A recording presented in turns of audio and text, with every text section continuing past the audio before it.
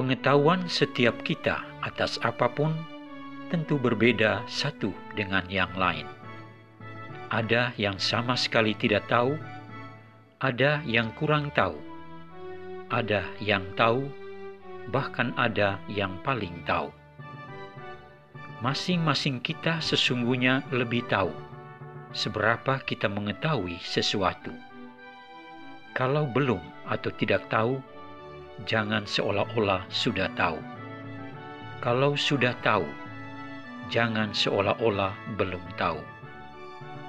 Kejujuran menjadi penting agar kita bisa melengkapi pengetahuan. Inilah yang namanya berbagi pengajaran, suatu ikhtiar untuk saling mencerahkan.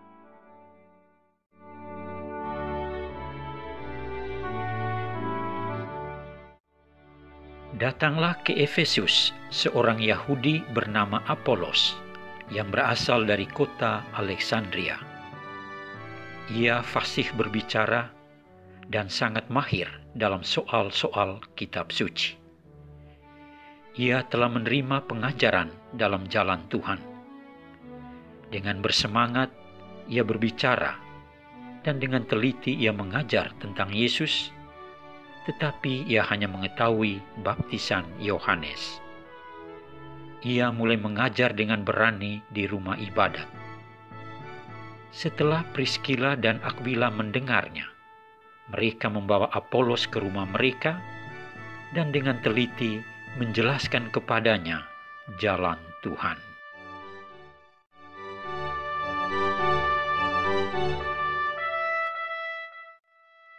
Terbilang luar biasa sosok Apolos, Priscilla, dan Aquila dalam kisah para rasul.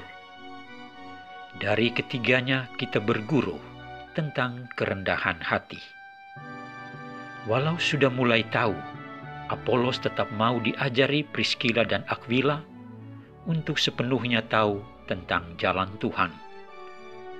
Demikian pun Priscilla dan Aquila, walau lebih tahu, mereka tetap mau mendengar pengajaran Apolos tentang jalan Tuhan. Atas cara ini, pengetahuan menjadi berkat yang mana mereka boleh tumbuh bersama di jalan Tuhan. Dalam pengharapan Pasca, kita saling berbagi pengajaran.